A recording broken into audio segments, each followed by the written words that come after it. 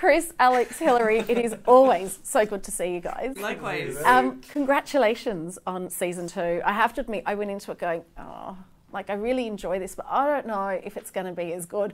Oh my god, it was bloody brilliant. Right. Do you guys ever get nervous though when you're starting off a new season, going, can we recapture the magic of what we've done previously? There's probably a, a bit of nerves, but then once you see how excited Peter is about the scripts and how excited he is to get started, you kind of. I don't know. I usually just put all my faith in him. Well, if he's happy, then I'm usually Yeah, yeah, happy. Yeah. know? But no, I think there is an element of it's always like, oh yes, we're going again. You're like, oh, hopefully it's good. Yeah, read through though. Yeah. I, uh, the read through is always my favorite day because it's the day that everyone gets back together and we all sit down and read the scripts and it's really you know casual. And I think once you have the read through, then you go, oh yeah, this is great. This is Yeah. gonna work. You know. And then you put those costumes on, and but, like, I didn't think it was possible, but they're getting worse and worse. and at least with you, Hilary, you can like strip off and you're fine at the end of the day. But you two, like, the hairstyles are getting worse and worse. How do you make them work in your personal life? Yeah, you did. You just don't. wear a hat.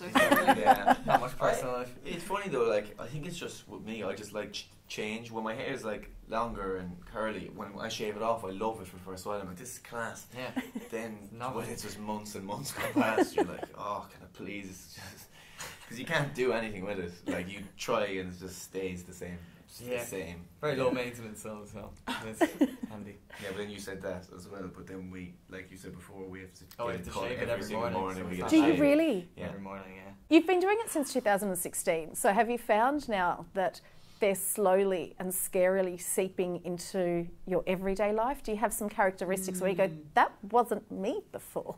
I find that Yeah. I'm quite angry. All the time. Yeah, I feel like uh, that, especially after this run, I really had to kind of consciously let go of the anger that Mairead carries around with her all the time. She's a really, really angry character, and then at the end of it, I was like, I'm really angry. I shouldn't be. so I'm like, this has become, this is a, like, you know, I've been melded in with her too much. So yeah, Yeah, I like to blame blame my kind of stupid moments in real life. I was like, oh, that, that was just Conor slipping. Uh, 100%. Yeah. Yeah, I think it's actually quite like if if we do kind of get an element of if Jock comes into me a bit, it's actually fine because he's kind of just happy-go-lucky and stuff. Yeah. So Yeah, I don't mind nice- adopting nice a few of his traits. Like um, maybe a few of them I shouldn't uh, adopt, but um, yeah, no, they're good crack. So if I take some of that, that's fine with me.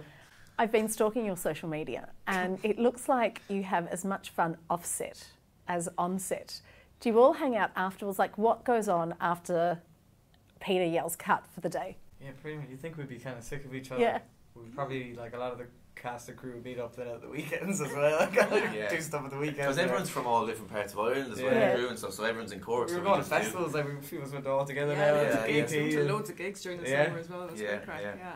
I So- think as well though because we've been split up for so long. Like the lads have been in college and I've been off having babies, so it was really great to actually come back and you know have fun together. Talking about social media, I was really disappointed when I saw a post on yours, Hilary, and it was the last day on set, and you actually said, Goodbye, Mairead McSweeney. It's been a blast. Written down and all. Yeah. So it's true. But Thinking that one through. well, tell me that it's just goodbye for now and not goodbye forever, because there's still more stories to tell. oh yeah, I think what I meant to say was until next time. See you Mairead. later. Ah. yeah, yeah. See you Sounds later. like an epitaph. Like yeah, yeah, yeah. This one's for you. I think that was probably part of me trying to let her go a little bit as well. I probably had to just park her, even if it was on social media. I'll just leave her there. When you made this film in 2016, did you ever think that it would resonate with people outside of Ireland? Uh-huh. I think yeah, like once we made the film, we just realised that the story was good. what you know? no, he just went. Uh, I think once it went on Netflix, actually, that really opened Yeah. it up, and we got feedback from all over the world that time. So Yeah. that's when we kind of went, oh yeah, this is this is something special. This can travel. What's been your favourite thing so far that's come out of your whole young offenders experience?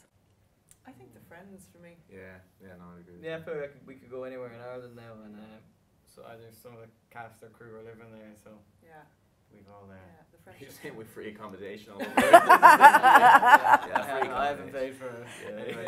I'm gonna stay at Chris's house in London. I'm Yeah. gonna Yeah. stay with him in Dublin. Yeah. So, yeah, Handy. Very handy. Are Cork people still trying to be a part of the show? Because I remember when I spoke to you last time, you said you'd be filming and people would try and accidentally be a part of a scene that's going on. Are you Yeah. still having problems trying to push them back and tell them we're actually filming right now? Yeah, Yeah. I think, but they've taken so much ownership of the show. Mm. They feel like it's part of Cork now, so they're you know they feel like they have the, the right to stroll on. And, And it does essentially work for kinda them as do. well. So Yeah. It does work. Like then it sounds like yeah, just put them in it. Yeah, we just- Yeah, yeah, we've met amazing people Yeah. like just randomly on the street that have ended up in the show. Yeah. and that's kind Yeah. of part of the whole ethos of it?